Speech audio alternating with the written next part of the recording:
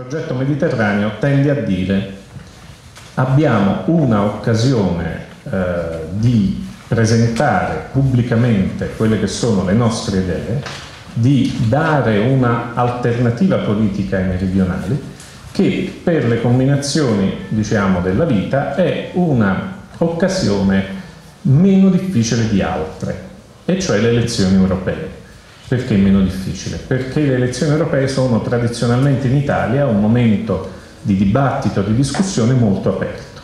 Non c'è il problema di eleggere un capo del governo, un governatore di una regione, un sindaco, non c'è un problema di alleanze di destra, sinistra, ciascuno si presenta col proprio volto e col proprio programma, non ci sono liste bloccate, non c'è voto di scambio, tutti fattori che hanno reso le elezioni eh, europee in Italia molto libere con risultati che in alcuni anni sono stati clamorosi. Perché questo appello? A chi si rivolge intanto questo appello?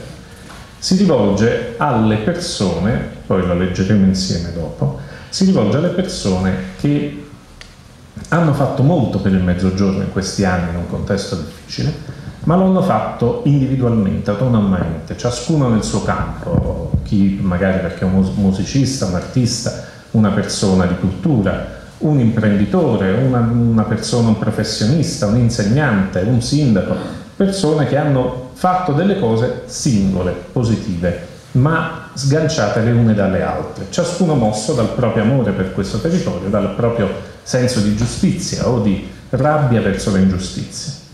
Ecco, è chiaro che se eh, si presenta una lista meridionalista, questa lista si rivolge sia al popolo tutto che ovviamente dovrebbe votarla, ma anche alle persone che ne vanno poi ad arricchire la lista stessa. Eh, abbiamo fatto appello alla necessità eh, di mettere insieme tutte le forze in questa ardua battaglia per il riscatto delle nostre terre. Peccato per chi oggi non c'è, per chi non è venuto, per chi non è voluto esserci o per chi pensa che mm, non, mm, il tempo è ancora troppo breve, è ancora troppo ehm, prematuro per poter iniziare una battaglia di riscatto. Per troppe volte il meridionalismo ha dato dimostrazione di essere frammentato, di privilegiare la prevaricazione dell'individualismo sulla voglia di aggregarsi per un'azione comune, per un sentire comune e per una battaglia unica, escludendo non solo le menti migliori, ma prioristicamente gli scettici e demotivando ancora di più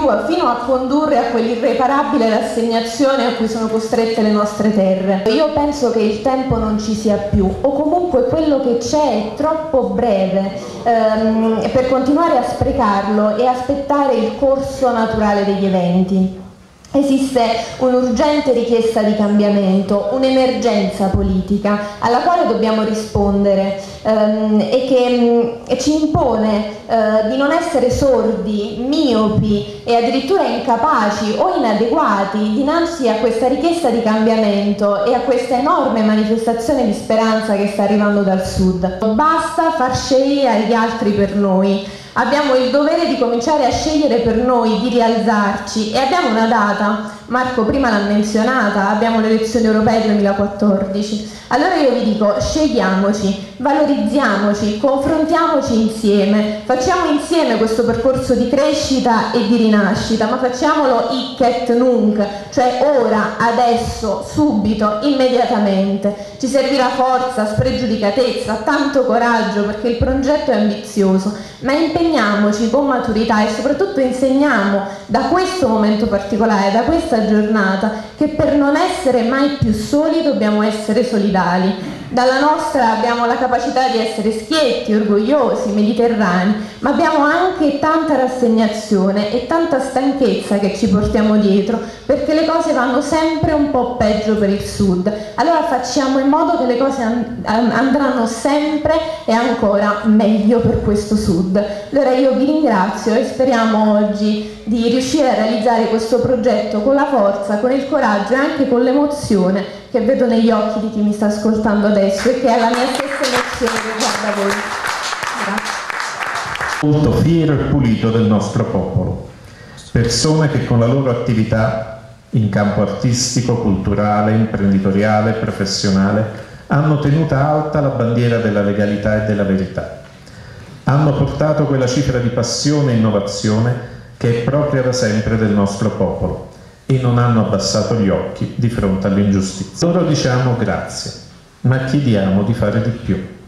Al dramma delle terre avvelenate, al dilagare della disoccupazione e dell'emigrazione, all'arroganza della criminalità organizzata, al taglio dei diritti civili minimi nei trasporti, nella sanità, nell'istruzione, nella giustizia, all'insipienza di una classe politica afona e serva, si risponde con una sola parola, basta.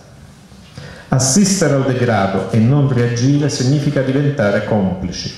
Per la prima volta in 153 anni possiamo presentarci insieme con un progetto di riscatto, di sviluppo, di vita. C'è bisogno dell'energia, della fantasia e dell'impegno di ciascuno in prima persona. Sventoliamo le nostre bandiere, saremo schietti, allegri, orgogliosi, mediterranei. La verità ci renderà liberi. Perché una persona dovrebbe votare le europee per un movimento meridionalista? Perché è arrivato il momento di dire basta, è arrivato il momento di riscattarci, di riprenderci ciò che ci spetta, la dignità che ci hanno tolto, ehm, di dire basta a questo sistema eh, di mala politica, di collusione, di criminalità che hanno per anni stuprato e deturpato il Sud. Non è mai esistito un partito che difendesse il Sud da quando esiste l'Italia unita e noi dobbiamo rappresentare la voce di un popolo che non ha mai avuto rappresentanza.